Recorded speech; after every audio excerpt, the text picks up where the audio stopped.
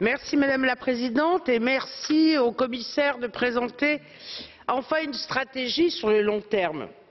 Mais vous nous proposez huit scénarios dont seulement les deux derniers scénarios visent à atteindre zéro émission en 2050.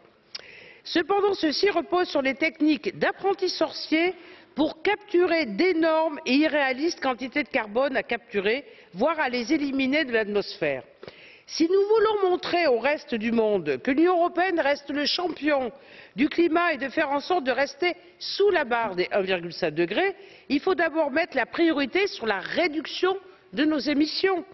La barre doit être mise plus haut et arriver au sein de l'Union européenne à une économie zéro émission d'ici 2040. C'est ça être leader au niveau du changement climatique.